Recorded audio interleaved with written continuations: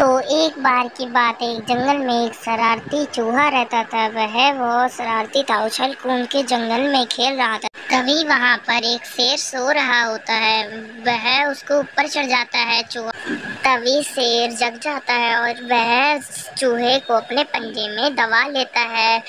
और तभी चूहा गिड़गिड़ाने लगता है और वह चूहा बोलता है कि, अरे, श्रीमान मुझे खा के तो आपका पेट भी नहीं भरेगा। यदि आज तुम मुझे छोड़ दोगे, क्या पता मैं तुम्हारे अगले दिन काम आ जाऊँ।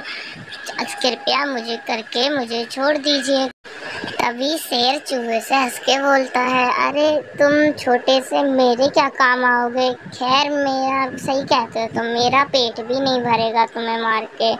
खैर, तुम मेरे वैसे भी क्या काम आओगे? मैं तुम्हें छोड़ देता हूँ। चलो, अब तुम जाओ तभी चूहा वहाँ से भग जाता है और तभी अगले दिन एक शिकारी आता है जंगल में और वह शेर को जाल में कैद कर देता है और शेर वहाँ से निकलने की कोशिश करने लगता है, मगर शेर निकल नहीं पाता। तभी वहाँ पर चूहा आके जाल को काटने लगता है अपने नुकीले दांतों से।